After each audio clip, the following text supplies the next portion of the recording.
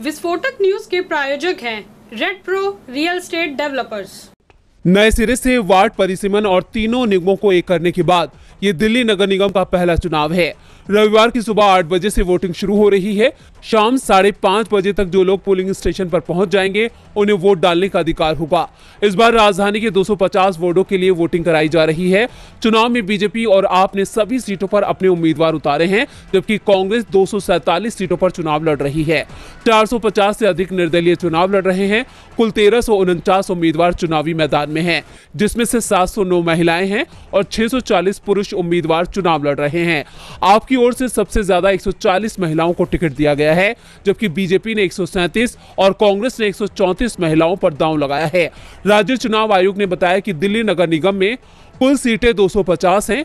महिलाओं के लिए रिज़र्व है 125 एससी के लिए रिज़र्व हैं 42 पोलिंग बूथ तेरह कुल मतदाता एक करोड़ छियालीस लाख तिहत्तर हज़ार आठ सौ सैतालीस, पुरुष मतदाता उनासी लाख छियासी हज़ार सात सौ महिला मतदाता छियासठ लाख छियासी हज़ार इक्यासी, ट्रांसजेंडर मतदाता एक हज़ार इकसठ हैं।